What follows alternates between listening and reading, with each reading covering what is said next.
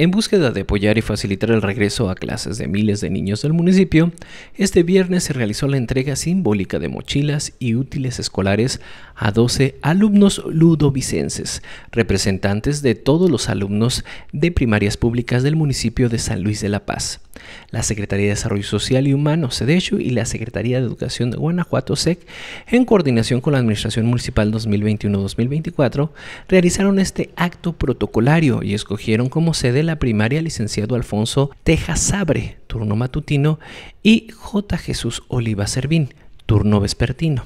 En este evento se encontraba el presidente municipal Luis Gerardo Sánchez Sánchez, quien al referirse a la importancia de educación en el desarrollo de la sociedad expresó, me ha tocado ser testigo de que el gobernador Diego Sinúa Rodríguez Vallejo ha hecho hincapié en muchas cosas importantes, pero la educación es una de las que más le ha invertido. No hay pretexto en Guanajuato para que un joven no estudie. Para continuar con el evento se realizó la entrega simbólica de útiles escolares y mochilas a los alumnos elegidos de las escuelas En la entrega estuvieron presentes la síndico municipal Magdalena González Otero, los regidores Karina Rivera Sánchez y Juan Antonio Torres Ortiz, además de Lucero Torres Navarro, coordinadora de vinculación educativa. Para más de acá, Antonio Velázquez.